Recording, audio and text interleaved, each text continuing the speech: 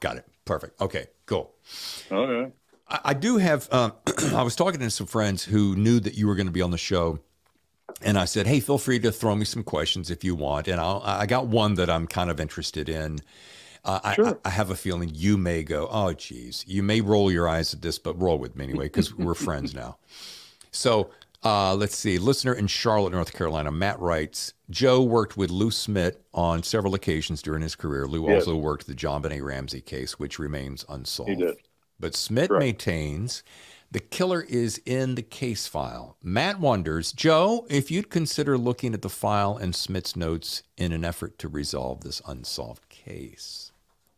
I would not because I have no jurisdiction in Boulder, Colorado. And the other issue in the Boulder case is that the police made enormous investigative errors that will prevent that case from ever going to trial. They'll never get in a courtroom with it.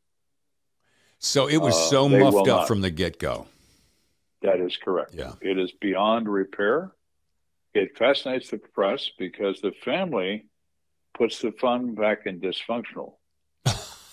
Most people teach a five year old girl how to ride a bicycle. They don't dress her up like a whore and have her dance around the stage to relive her mother's youth. Yeah. That's not how it works. So to the press, it's a man bites dog story and they won't let it go. In terms of reality, the investigative errors are fatal to criminal prosecution. Gotcha.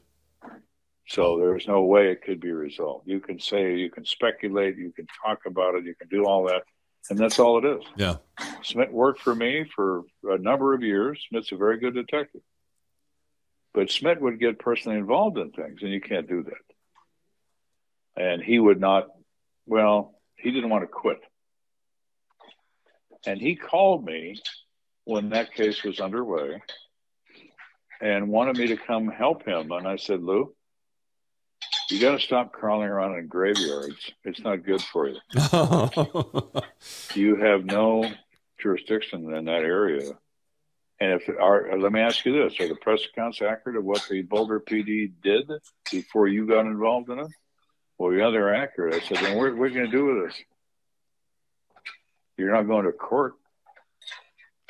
No one's going to get arrested, and no one's going to get convicted. No one's going to get past a preliminary hearing. You couldn't even get an arrest warrant signed. yeah, no kidding. All right. So it's like, what are you doing? Then he was angry with me and he hung up and that was the end of it. I never talked to him about it again. But uh,